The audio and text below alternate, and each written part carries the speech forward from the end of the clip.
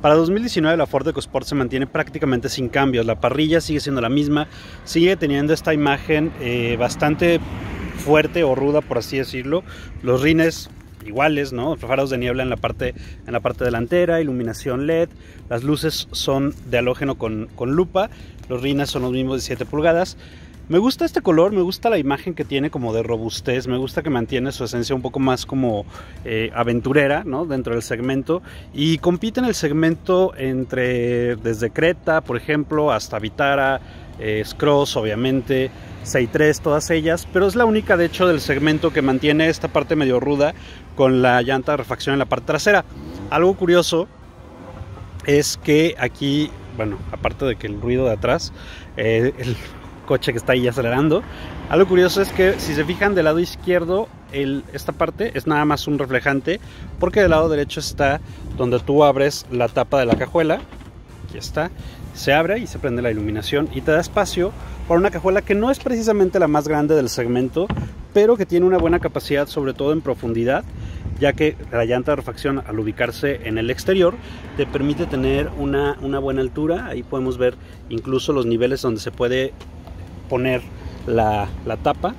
Aquí está, abajo lo único que tenemos son los, los eh, triángulos reflejantes y el amortiguador que es el que te ayuda a mantener el portón abierto, ¿no?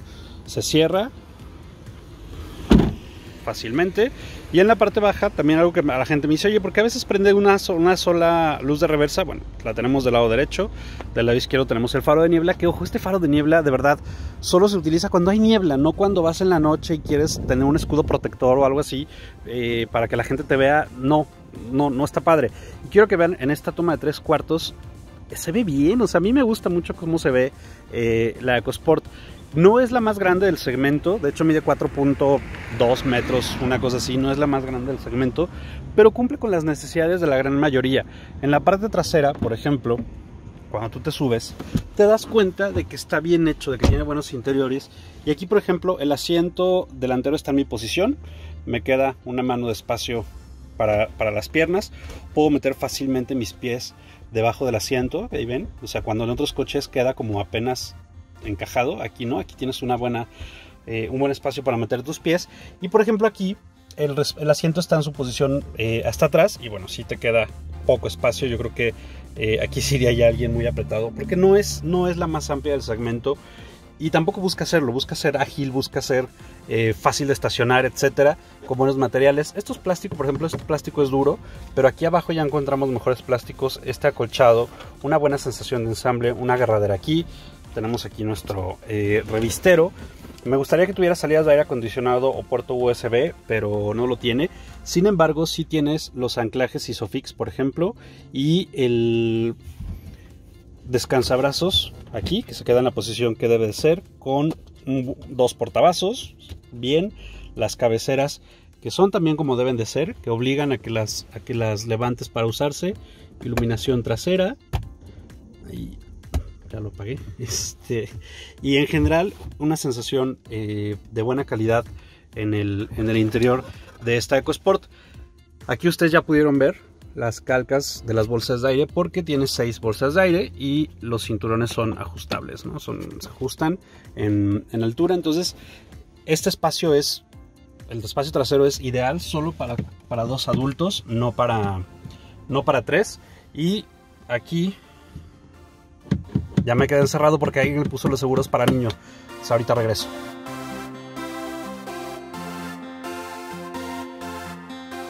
Pues ya, ya me pude bajar. Este, voy a, a platicarles, ¿no? Estos, los espejos, por ejemplo, son eléctricos y la cerradura es táctil. O sea, tú cierras, por ejemplo, aquí, se cierran los espejos, o solo haces esto y se abre. Y bueno, eh, aprovecho para mostrarles que los seguros, tanto de los cristales como de las puertas, se activan a través de este botón. Tú, bueno, abres el switch y lo activas y ya, no pueden abrir ni las ventanas ni, las...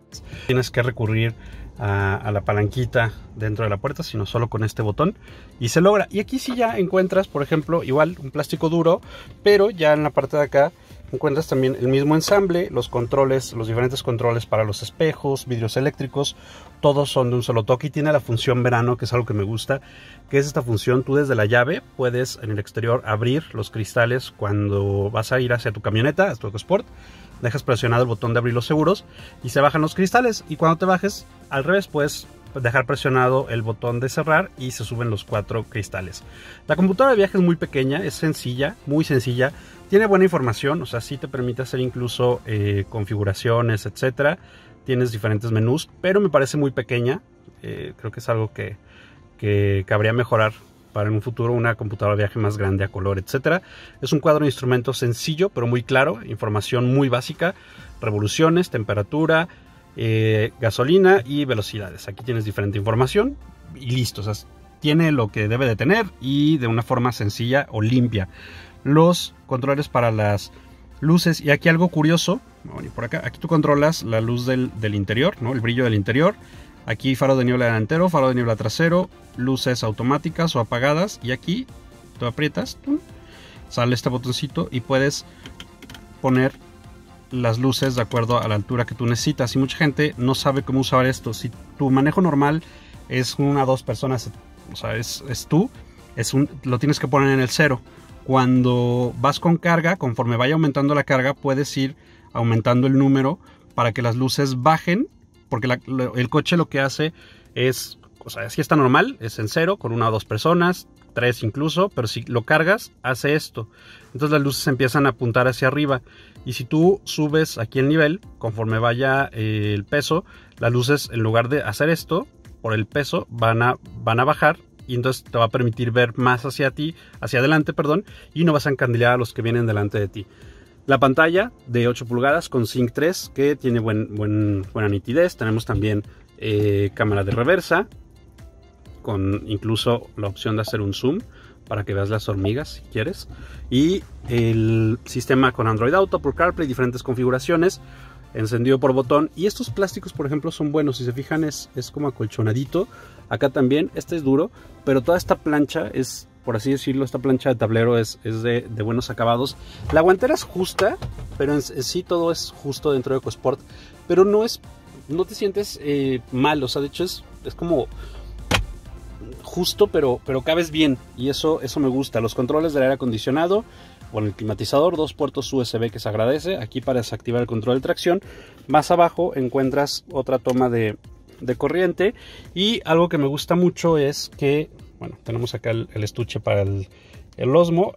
Tenemos un portavasos doble con agua. Si ustedes son muy calurosos como yo, les recomiendo esta. Se llama Pocari Sweat. Tiene eh, temas para, para rehidratación y todo eso un espacio aquí atrás para colocar por ejemplo unas cajitas y ya vieron que el descansabrazos es eh, deslizable se abre y encuentras esto que es como un pequeño basurero ¿no? aquí toda esta basurita si echas basurita sacas esta parte la tiras y la vuelves a poner ¿no? asientos en piel anclaje Isofix motor 2.0 4 cilindros de 164 caballos que es el motor más potente de su segmento y en la versión Titanium el motor 3 cilindros es muy bueno es un buen, muy buen motor de 121 caballos 3 cilindros y que eh, a mí me parece que EcoSport a partir de la segunda versión que ya tiene 6 bolsas de aire, hasta esta versión Titanium, cualquiera es una buena compra.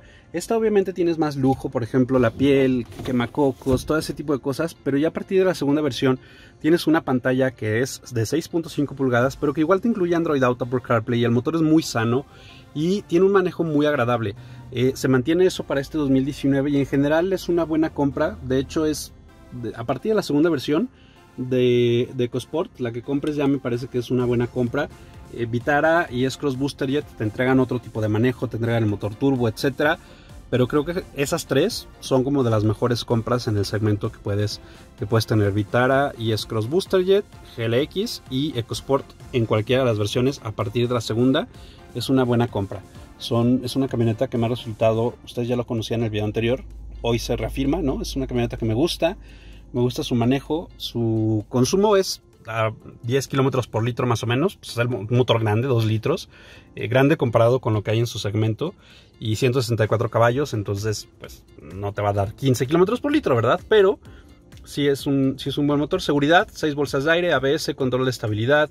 Eh, tiene el sistema MyKey para controlar diferentes funciones, por ejemplo, si lo prestas a tus hijos. Entonces es una opción que se mantiene todavía vigente en el segmento y que es una muy buena opción desde mi punto de vista.